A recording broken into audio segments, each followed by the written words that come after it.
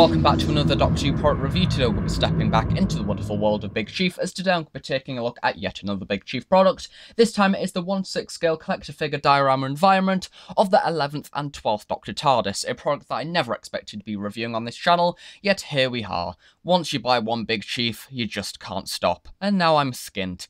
Firstly, taking a look at the packaging that the TARDIS came in, it is absolutely massive. Here is the actual official box itself, and here is the massive shipping crate that came in. As per usual, the shipping crate is a tad boring, with just has some company information on the side, along with a massive Big Chief Studios logo The actual box itself is once again in your average Big Chief format, being very stylish. As you can see at the very top, we get the Who logo in your standard diamond design. In the very middle, we get a lovely image of the TARDIS nicely on profile, very nicely lit. And then at the very bottom, we get TARDIS, 1/6 scale collector figure diorama environment. One side of the box, we get a promotional image of the TARDIS, along with the Series 7B 11th Doctor figure that I have in fact reviewed. So if you've not checked out that review and you're interested in that figure, then go and check it out. And on the opposite side, we get another promotional image of the TARDIS, however this time we have the standard version of the 12th Doctor figure displayed alongside it.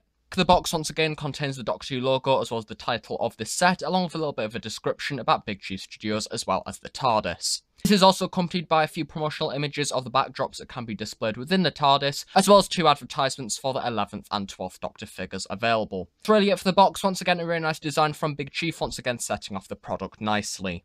So here we have the TARDIS out of its box, and it is a sheer thing of beauty. In case you've not noticed already, this is a brand new review setup. We've needed to completely get rid of the normal one because this thing is absolutely massive and definitely wouldn't fit on it. Two data is the biggest thing that I have reviewed and probably will ever review on this channel. Of course, it is within scale of the 1-6 scale Big Chief figures that I have previously reviewed, and it is a polystone construction. In case you've seen my previous review of the Big Chief Studios Weeping Angel, you of course already know what that is, but basically it's a formulation of stone, meaning that this thing is essentially a giant slab of stone, meaning it is pretty heavy. If you drop it or knock it against certain things, if it's especially a hard surface, it does mean that this thing will smash and crack, but to be honest, for the scale that this thing is, there's not really anything else that you could make it out of. It is extremely strong and sturdy, and it is extremely bloody beautiful give you an idea of the weight of this thing, I'm going to try and pick it up. As you can see, probably the securest way to lift it up is by grabbing around here. You do not, under any circumstances, grab the lid because this is, of course, a separate piece that does lift off,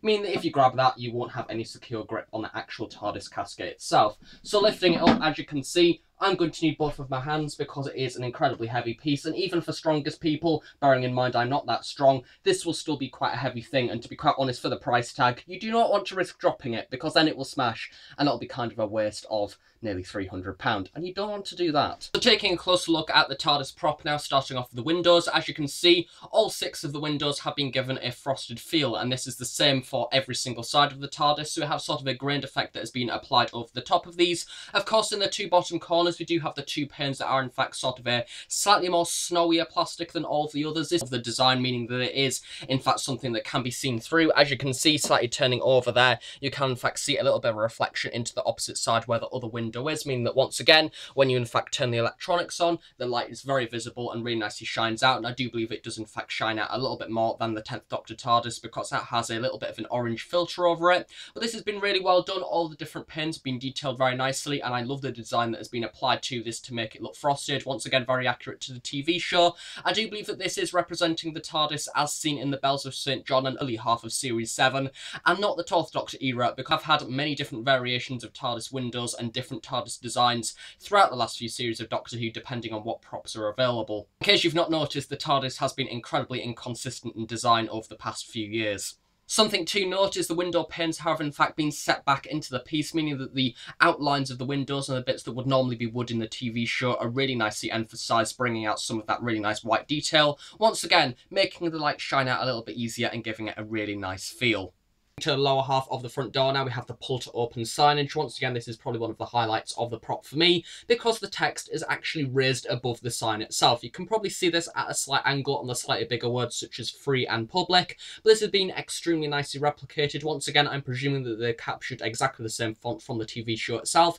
I didn't in fact realize that this was in fact raised but as you can see this has been really well painted. We have that white backdrop in there and then the black has been really nicely applied to the top of this to bring out that really good highlight. And once again we have the wording that is seen on the actual prop itself in the TV show, which has been really well replicated. Towards the side of this, we do get the silver handle, which does have the detailing of two small screws where it is, of course, fixed onto the TARDIS itself. And then to the opposite side of this, we do get two bronze hinges, which do in fact work. This is the exciting bit that I've been waiting for. This is, of course, made of plastic, and it does in fact open, much like the 10th Doctor TARDIS. However, we get something slightly more exciting on the inside. Inside of the pull to open box contains a small little retro phone. As you can see, this has been really nicely detailed. There isn't really too much to talk about. It has been molded in a black plastic, and then of course in the centerpiece you get a nice little dial section, which has been painted with a silver color along with a white highlight, which has once again been really well detailed.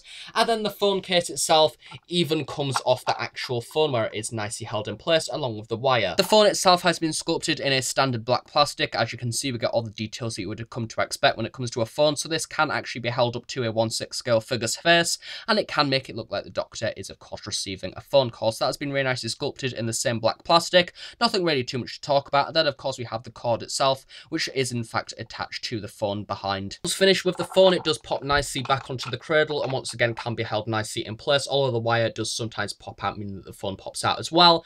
And then the pull to open sign can, of course, be closed. Once again, once this is closed, it does, in fact, remain in place. And the hinge is, in fact, rather good and sturdy.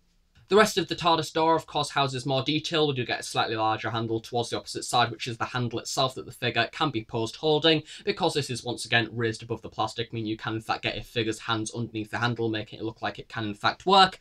And then, of course, below this, in a bronze colour, we do, of course, get the TARDIS lock itself. This has been detailed rather well, and does get the letters Yone imprinted above this. I do believe that this may be a non-copyrighted version of putting Yale in there, but of course it can't do that, as I said, due to copyright, so they've gone with Yone instead.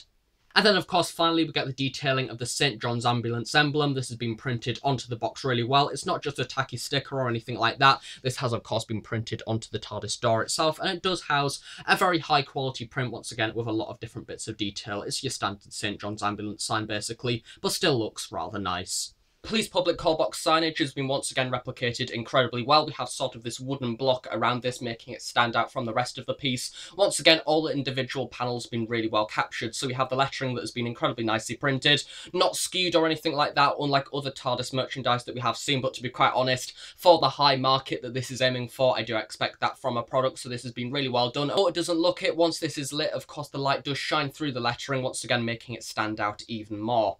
Continuing around to the side of the TARDIS, we do get that continuation of that rather panel feel. As you can see, either side of the TARDIS does in fact have this end cap. This is on the actual lid itself, which I have noticed on some TARDISes can end up being scuffed. But as I said, due to this being made of polystone, due to the manufacture, it can in fact have scrapes, any scratches on or things like that. It's something that cannot be avoided. It is stated on the Big Chief Studios website, much like the Weeping Angel. Things can alter between all the different products that are released. But to be honest, as this is made of wood in the actual actual TV show, natural weathering is something you come to expect, which sort of adds to it in a way, as long as the scratches aren't too prominent. Going to the roof of the TARDIS now, this gives a little bit of an opportunity to take a look at some of the wooden textures that have been applied to the TARDIS prop itself. Unlike other lines such as say character options that physically engrave the wooden effect into the plastic, with Big Chief Studios, as this is stone, they're not able to do that, otherwise it would be rather rigid and wouldn't really look exactly that right. They've decided to go with more of a paint colour wrap palette that makes it lighter in certain sections, darker in others, giving this really nice wooden impression. As you can see, going all the way down the roof, it is a little bit hard to see on camera, doesn't tend to pick up every so often, but in certain lights it does. We tend to have almost this panning all the way down that has a few light shades and darker shades. It really does bring out a really nice wooden feel, and the sculpt itself is incredibly sharp. As you can see on all of the corners, this has been really well done. All of it is incredibly straightened, and even to the sides of the prop once again, really making it look like wood, and even down to the smaller parts here, we have that wooden texture. So it has, once again, they've really gone to the effort to make it look like a physical wooden box. Moving up the roof to the very top, of course, we get the TARDIS lantern. This is probably one of my favourite parts of the whole entire prop. I think that it has been incredibly well replicated. Of course, at the very bottom, we get this base section, which raises it above the actual roof itself. And then in the main central column, we get this plastic section, which has been really nicely engraved, as you can see. Lower half and the top half, we get this engraved section of this circular piece in the middle. Once again, once lit up, the light does really nicely bound out of this, making it look incredibly bright. This is accompanied by four bars that have been separated around the lantern itself, once again, much like in the actual TV show itself.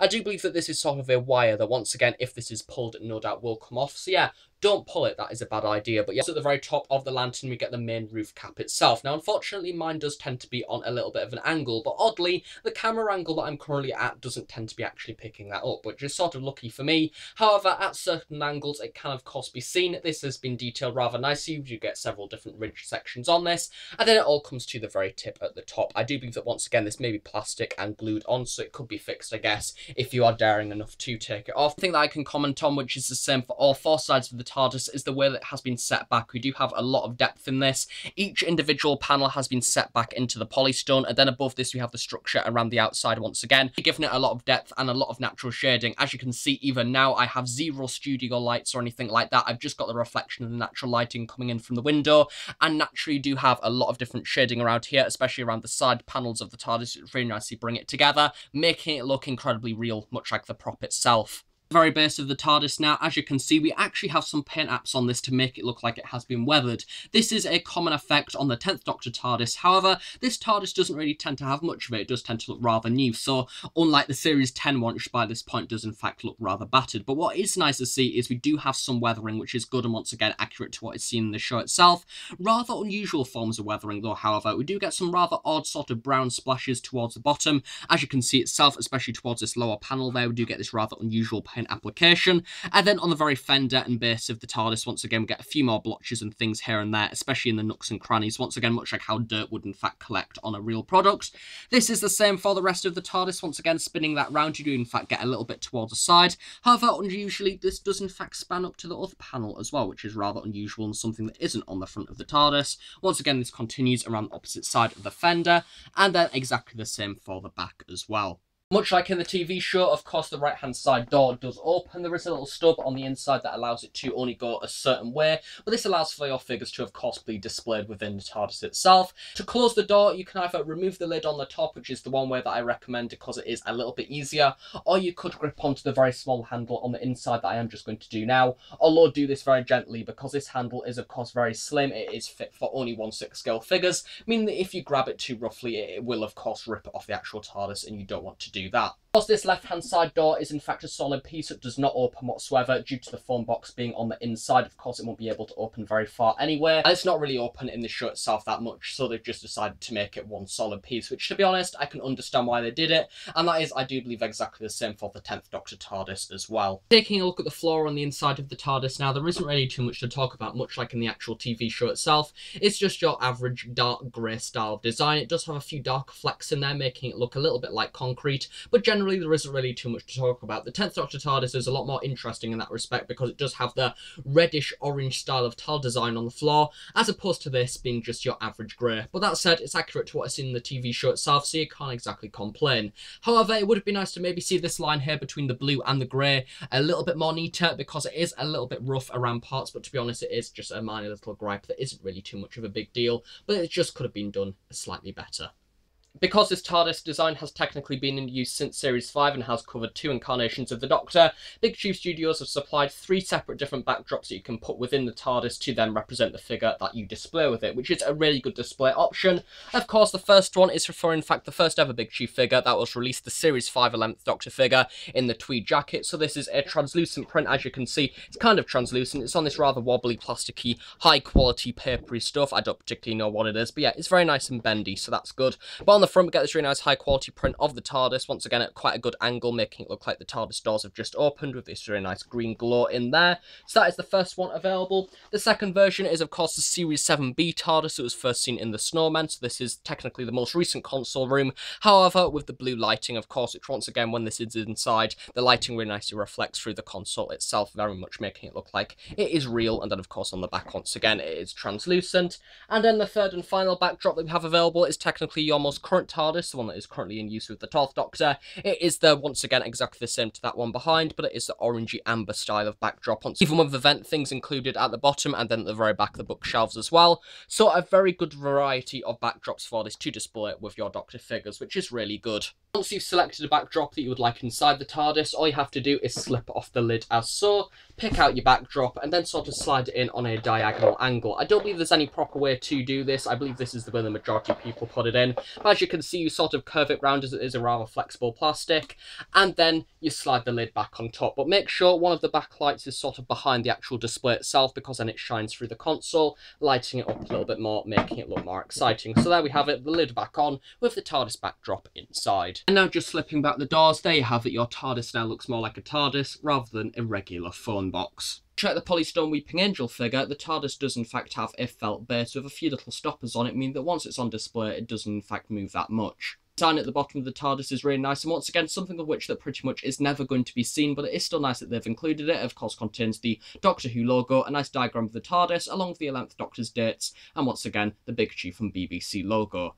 Moving on to the electronics of the TARDIS is in fact incredibly easy to activate. As I previously briefly mentioned, the whole of the TARDIS roof is in fact a removable separate piece. To take off the lid, all you need to do is very carefully slide it off so it's not connected on in any way. The roof in itself is in fact quite a heavy piece because this is still polystone, much like the actual capsule itself. Tilting it up to the bottom, we do in fact have four separate LED lights, a battery compartment and a big massive red button, so no prizes for what is going to happen next. This does in fact take three AA batteries. I can't comment on the battery life for these because I myself have only had this TARDIS now for not very long, meaning that I don't in fact know how long the batteries do last for, but from what I've been judging from other people, they are in fact pretty good, so make sure that you have three of them available, otherwise you're not going to have a TARDIS with lights, and that'll be incredibly sad. So the first light setting that we have is activated by pressing the button once, activates the four central lights in the middle that don't in fact do anything whatsoever, but they are in fact incredibly bright. Turning over the TARDIS roof, however, we do of course also have the lantern at the top. As you can see, this is really nicely illuminated and just once again remains lit activate the second setting, all you need to do is press the button once again. Absolutely no difference on the four lights at the bottom whatsoever. However, once you turn over the TARDIS once again, the lantern at the top this time pulsates like the TARDIS is taking off or landing or, or just flying through space. So this is a really nice feature and once again makes the TARDIS look very much alive broad daylight, the only bit of the electronics that is really that visible is the lantern on the top. The rest of the signage and the windows remains pretty much unseen. However, transferring over into darkness now, All of the lights are very nicely illuminated. The lantern on the top is incredibly bright. And then we have the police Public Call Box signage along the top, very nicely lit also.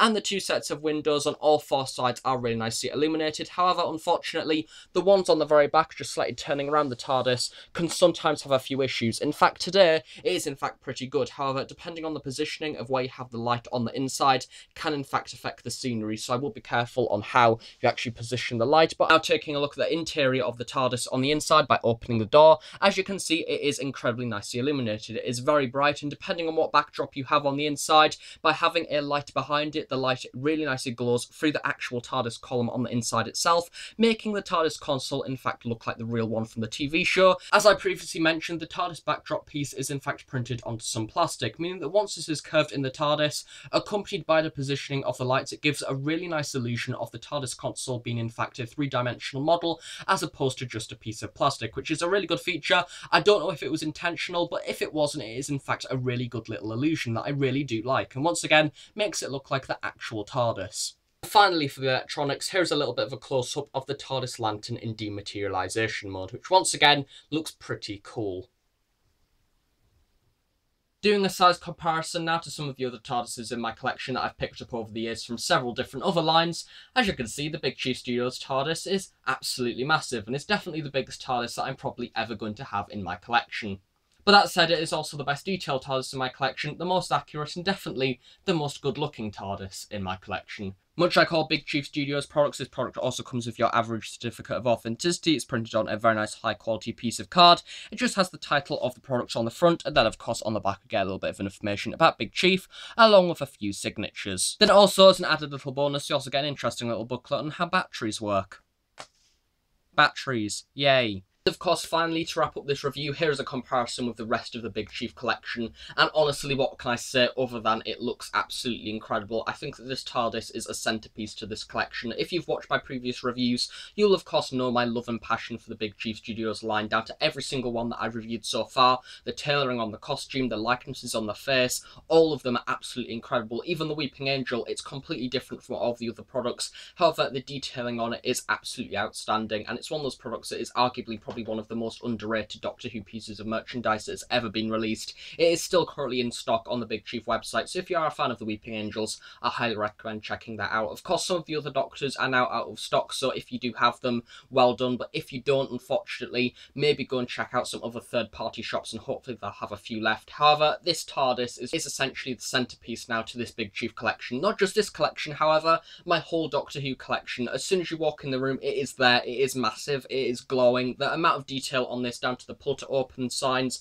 the windows, the St. John's ambulance sign, the police public call box, the electronic lighting, the TARDIS lantern at the top, and even the wooden textures on it. Every single thing about it I cannot fault. It looks absolutely wonderful. Of course, there has been a few errors with this, with the polystone and things, with the scratches, but as I say, that is something that cannot be avoided.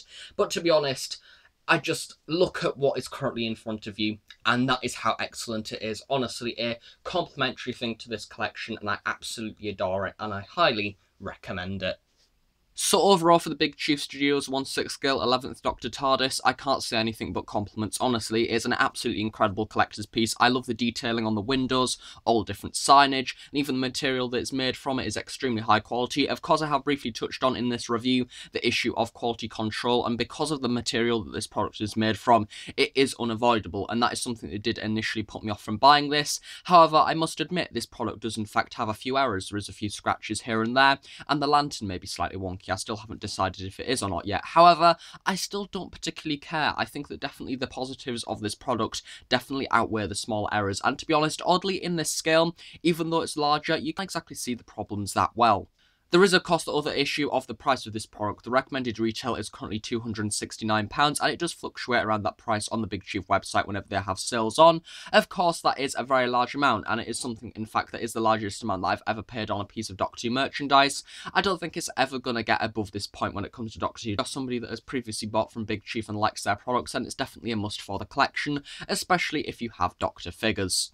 This product, I do believe, is currently on the way out. The 10th Doctor TARDIS is currently sold out on the website, and the only ones that they're selling are the seconds versions, which are ones that have been refurbished and refixed. This one does sort of fluctuate from going in and out of stock all the time, so I'm presuming that the stock for this one may also be running low. So if you do want a Big Chief TARDIS, then definitely now is the time to act. I really hope that if you are wanting one, that you do get one, because this is honestly a product that you don't really want to miss out on, as it is kind of unavoidable, especially if you have Big Chief Doctors, and that is especially why I got mine. Thanks for watching this review. If you enjoyed it, please do give it a big like. Please subscribe if you're not already. If you've got any questions, please do leave them below and I'll be sure to answer them at some point in the near future. Thanks again for watching, and I will see you all in the next review. So bye for now.